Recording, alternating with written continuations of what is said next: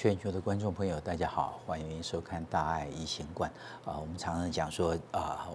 某一些人呢，脸皮比较厚啊，自己啊脸皮比较薄，所以啊，我们对很多事情啊就会啊觉得很不好意思。那有些人就习以为常，哎，觉得这这样子有什么关系啊？其实啊，啊，真正的脸皮啊，讲起来，人们人类算都大家都是薄的。那为什么呢？因为那个地方它比较不需要受力，所以不像我们手。或者是脚，它脸皮，呃，它的这个皮肤啊，需要比较厚，因为它要保护的意思啊，或者是摩摩擦所引起来的一些呃反应性的一个增生啊，这两个不一样。我们脸皮啊，很少说需要呃这个呃，好像要去跟什么东西摩擦的那样的一个需求啊，不太多。所以，我们是透过心理啊，常常去投射在很多事情上面。假如就结构面来看的时候，这是比较薄的这个皮肤啊，这是比较厚的皮肤啊。那么底下都是有真皮层，然后表皮层。我们的光表皮层，它可能就分成好多层啊。那比较厚的皮肤啊，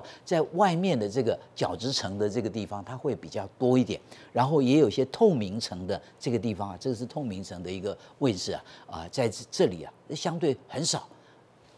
非常薄的一个位置啊。那上面的这个角质层，在薄的皮肤，这譬如说我们眼皮就是最明显的例子啊，非常薄，但是呢。脚底相对非常厚，就是某些位置我们需要它呃适应那个地方的一个环境啊的时候，当然它就会演化出改变出它的一个结构有不一样的一个地方，所以这是人类的一个组织啊非常精巧的一个地方，绝对不是呃任何地方都是等同啊那样的一个呃这个设设计啊啊还是要因地制宜啊，这是非常重要。不过皮肤提到皮肤哦。比较厚的一个地方啊，胼手知足啊，意思就是说，他手常常要去握重的东西啊，耕作啊，那脚底又要磨呃那样的一个田地啊，凹凸不平啊，所以当然就有可能我们皮肤就会变得比较厚一点。那譬如说像这样子，这个雕刻所描绘的对象是农民啊，农民，然后他穿的一个鞋子，请大家看一下。这个鞋子怪怪的，好像跟我们习惯上看到农民会穿的那个鞋子啊，呃，有一点点不太相同。这是木鞋，木鞋，所以意思就是说，像某些地方啊，荷兰，我们知道木鞋呃是很有名的那样的一个观光产品。其实当地因为是低地国，所以那个呃农田里面那个常常都是有水的一个状况的时候，你怎么保护？那时候又没有雨鞋，那。木鞋是一个希望能够比较啊保护呃我们的一个脚的那样的一个功能啊，但是事实上大家可想而知，穿在这样的一个穿在那样的一个质料的鞋子里面，那个脚肯定是不舒服的一个状况。所以环境的不舒服，工作的不舒服啊，就让农民呢，你看呈现的一个雕刻的一个形象，那样的一个辛苦啊，那样的一个啊，好像对未来啊。没有那个很阳光的啊感受的那个感觉，都是可以呈现的出来。所以农民的一个形象，米勒，法国印象派的一个呃巴比松派的一个大师啊，他跟农民生活在一起啊，呃有蛮长的一段岁月，所以对农民的一个琢磨就更加深刻。所以不是从诶一片丰收中一个小小的一个人物，而是把它放大成我们需要去尊敬，需要去啊。对他们表示感恩的一个对象，所以从地平平面上面可以耸立出来，然后再加上那个播种者的一个姿势啊，呃，更能展现出那份的一个毅力跟克服困难的那样的一个力道出来。所以米勒的影响不只是大家唤醒大家对于这些啊社会底层的人物的一个重视啊，他们的贡献度非常高啊。那么其他的画家也深受他的影响，譬如说大家看这一幅画跟这一幅画非常像啊，这不是米勒画的。是梵谷画的，梵谷画的，所以这种呃影响的一个层面呢，呃，是是非常大的，意思表示说，范谷他本身本来就对呃社会底层的农民他非常呃心疼啊，然后又看到米勒画这个，所以他比米勒晚了几十年，他把依然把这个形象透过他自己独特的一个笔触啊，来去歌颂出农民啊，然后呃有些是在整个一个道呃稻田里面啊做重复都是做这样播播种的一个动作啊，哎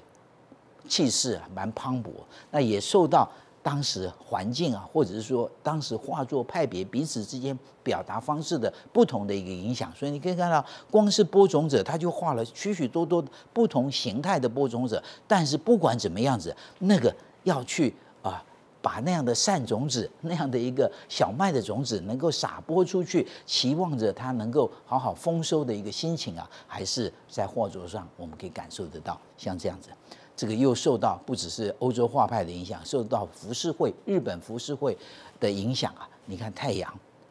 树干出现在其他欧洲画作很少出现的一个位置啊，但是依然可以彰显出农民的一个辛劳面啊！我们可想。呃，可以透过他画作感受的很深刻。好，手这样持续在动的一个过程中啊，长久，当然手会酸、手会麻的一个可能性啊，也会产生出来。现代人手会酸、手会麻的一个原因呢，颈椎这是其中一个非常大的因素啊。所以两手都会酸麻的时候，还是要到医院来请。骨科、神经外科、复健科的医师看一下，到底脖子是不是有问题？如果是单边发生问题，那又不一样的情形，可能局部神经的压迫会产生出来。但是如果有一个特定的一个因素所造成的话，那我们更要去注意啊。一个三十几岁的一个男性病人，他就就开始手酸手麻，是因为一次车祸以后，车祸他也有去照 X 光，当时看起来好像也没什么特别的问题，包括颈部、颈椎的这个 X 光面看起来没什么问题啊。但是呢。他这个症状出现的越来越明显，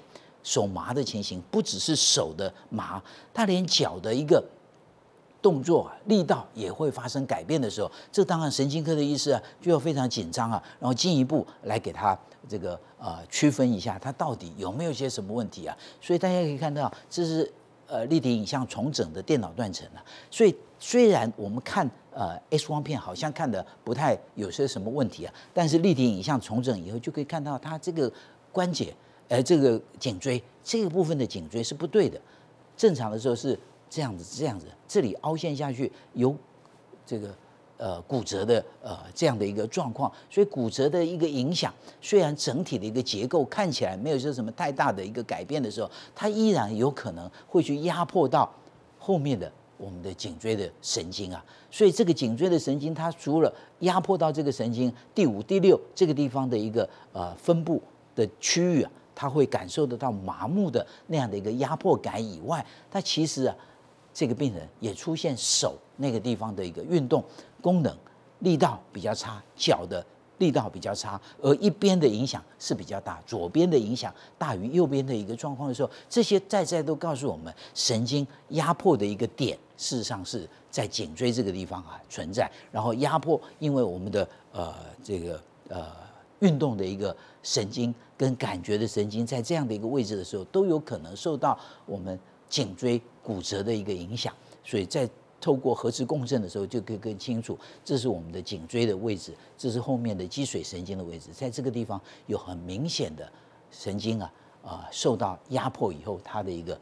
呃角度，它的一个通畅度发生很严重的这样的一个改变。当然，这就告诉我们说，这个需要赶快跟他做一些矫正，因为这么年轻，你这个不把这个压迫点除掉以后，这个后续脚。呃，压迫的一个影响，运动的影响，让他不能走路，手也呃无力的一个状况的时候，这个影响当然很大。所以透过手术把这个第五、第六颈椎这个地方给它固定。刚刚是从正面来看，这是从侧面来看的时候，这个把这样原先呃。